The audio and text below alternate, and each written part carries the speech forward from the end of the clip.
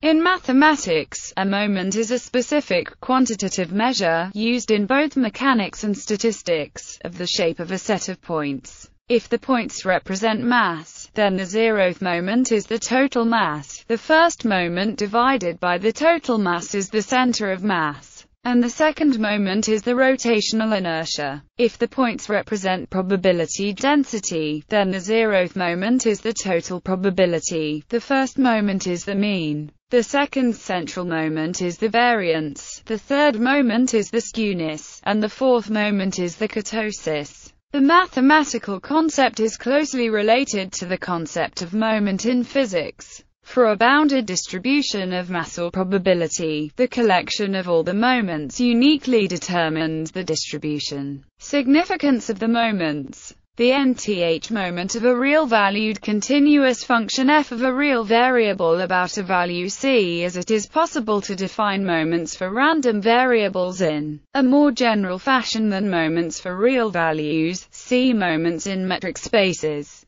The moment of a function, without further explanation, usually refers to the above expression with c equals 0. For the second and higher moments, the central moments are usually used rather than the moments about 0 because they provide clearer information about the distribution's shape. Other moments may also be defined. For example, the nth inverse moment about zero is and the nth logarithmic moment about zero is the nth moment about zero of a probability density function f is the expected value of xn and is called a raw moment or crude moment. The moments about its mean mu are called central moments. These describe the shape of the function, independently of translation. If f is a probability density function, then the value of the integral above is called the nth moment of the probability distribution. More generally, if f is a cumulative probability distribution function of any probability distribution, which may not have a density function, then the nth moment of the probability distribution is given by the Riemann-Stieltjes integral where x is a random variable that has this cumulative distribution f, and d is the expectation operator or mean. When then the moment is said not to exist, if the nth moment about any point exists, so does the th moment about every point. The zeroth moment of any probability density function is 1, since the area under any probability density function must be equal to 1. Mean the first raw moment is the mean. Variance the second central moment is the variance. Its positive square root is the standard deviation sigma. Normalized moments The normalized nth central moment or standardized moment is the nth central moment divided by sigma n, the normalized nth central moment of these normalized central moments are dimensionless quantities which represent the distribution independently of any linear change of scale. For an electric signal, the first moment is its DC level, and the second moment is proportional to its average power. Skewness The third central moment is a measure of the lopsidedness of the distribution. Every symmetric distribution will have a third central moment if defined, of zero. The normalized third central moment is called the skewness, often gamma. A distribution that is skewed to the left will have a negative skewness.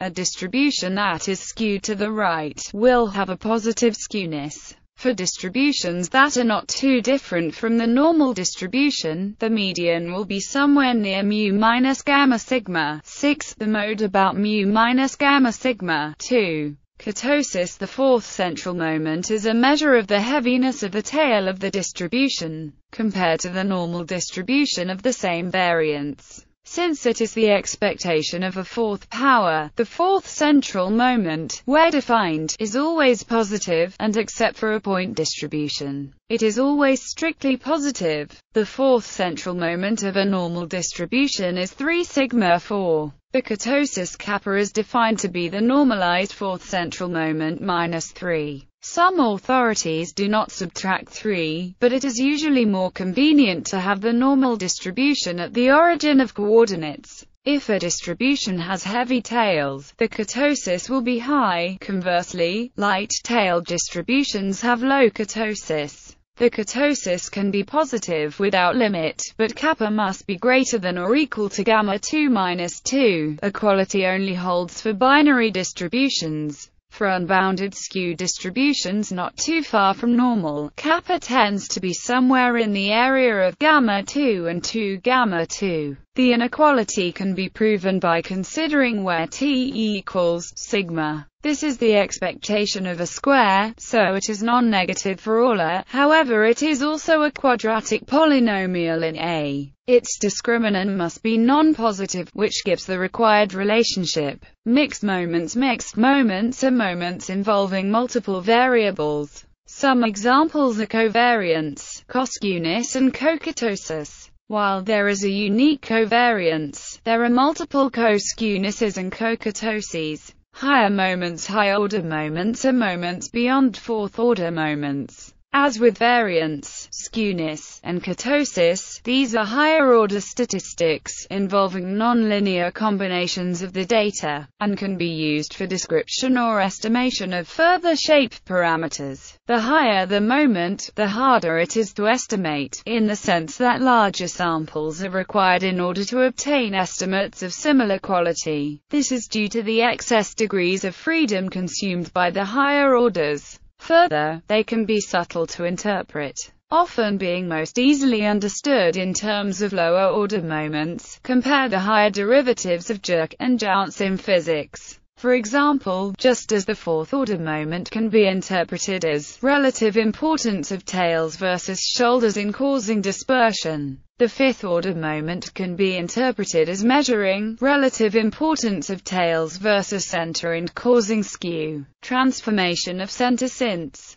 Whereas the binomial coefficient, it follows that the moments about B can be calculated from the moments about A by cumulants. The first moment and the second and third unnormalized central moments are additive in the sense that if x and y are independent random variables, then, in fact, these are the first three cumulants and all cumulants share this additivity property. Sample moments for all k, the kth raw moment of a population can be estimated using the kth raw sample moment applied to a sample x1, xn drawn from the population. It can be shown that the expected value of the raw sample moment is equal to the kth raw moment of the population, if that moment exists, for any sample size n. It is thus an unbiased estimator. This contrasts with the situation for central moments, whose computation uses up a degree of freedom by using the sample mean. So for example an unbiased estimate of the population variance is given by in which the previous denominator n has been replaced by the degrees of freedom n minus 1, and in which refers to the sample mean. This estimate of the population moment is greater than the unadjusted observed sample moment by a factor of and it is referred to as the adjusted sample variance, or sometimes simply the sample variance. Problem of moments the problem of moments seeks characterizations of sequences mu n n equals 1, 2, 3, that are sequences of moments of some function f. Partial moments Partial moments are sometimes referred to as one-sided moments, the nth order lower and upper partial moments with respect to a reference point r, may be expressed as partial moments are normalized by being raised to the power 1, n. The upside potential ratio may be expressed as a ratio of a first-order upper partial moment to a normalized second-order lower partial moment. They have been used in the definition of some financial metrics, such as the Sortino ratio, as they focus purely on upside or downside. Central moments in metric spaces let be a metric space, and let B be the Borel sigma algebra on M. The sigma algebra are generated by the d open subsets of M. Let 1 p infinity The pth central moment of a measure mu on the measurable space about a given point x0m is defined to be mu is said to have finite pth central moment if the pth central moment of mu about x0 is finite for some x0m. This terminology for measures carries over to random variables in the usual way. If is a probability space and x omega m is a random variable, then the pth central moment of x about x0m is defined to be and x has finite pth central moment if the pth central moment of x about x0 is finite for some x0m.